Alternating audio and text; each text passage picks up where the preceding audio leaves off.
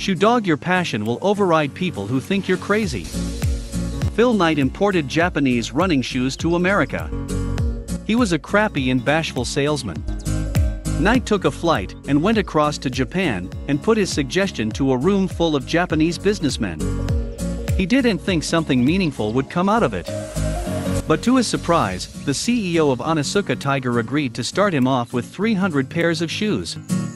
He sold the shoes from the trunk of his car for a few upcoming months. He experienced passionate feelings for the support of Western human advancement, the Greek Acropolis. Phil Knight was so fascinated by it that he would stand for hours in the queue in the front of the temple. A long time later, he unearthed a play called The Knights, where a ruler gets another pair of shoes as a blessing in the Nike temple. Onboarding Bill Bowerman. Phil Knight was a sprinter himself and he respected his mentor, Bill Bowerman.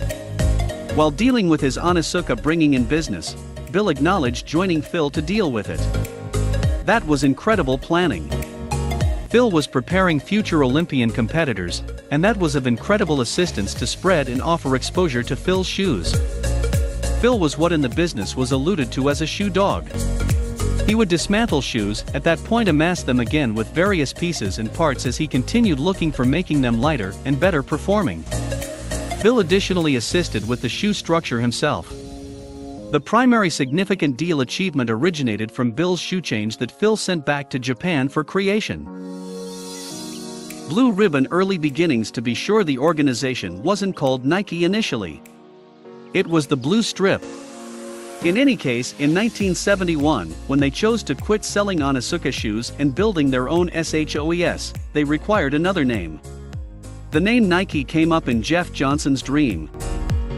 The early Nike team.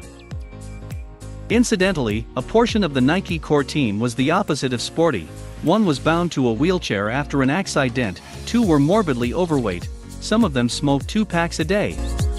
Knight defies some modern views on management. He rarely responds to questions, letters, or other correspondence. He doesn't seem to be a manager, but more of a leader.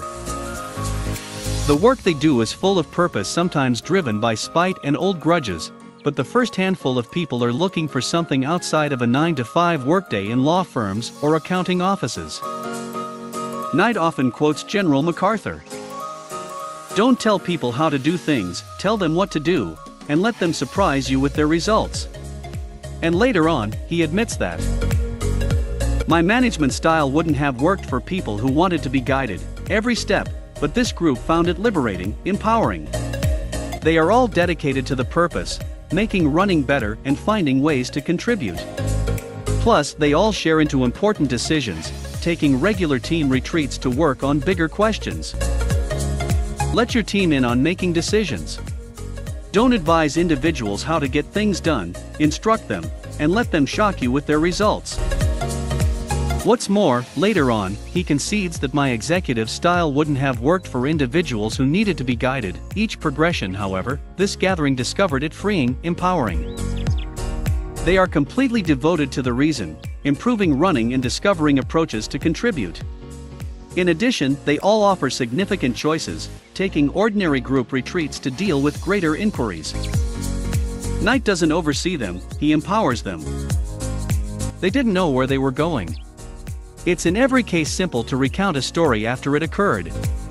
It is an incredible deception of our psyches, since we realize it occurred, it was the main way it could have occurred. Knight doesn't embark to fabricate a domain, nor does HE need to disturb or upset the shoe markets. He needs to improve running by improving the devices, shoes, and sprinters' well being. He battles, he battles, and at long last, significantly in the wake of splitting $140 million in deals, he says. But instead of cherishing how far we'd come, I saw only how far we had to go. Stay true to your values. Phil Knight says that Nike leased space in sweatshops simply as numerous different companies did. He says that the organization consistently contended energetically to improve the living and working states of all SPE stylists before the embarrassment broke. In one case, it was halted by a neighborhood government official since laborers gaining more than specialists would be terrible for the economy. However, Knight acknowledged they needed to invest more energy and accomplish more.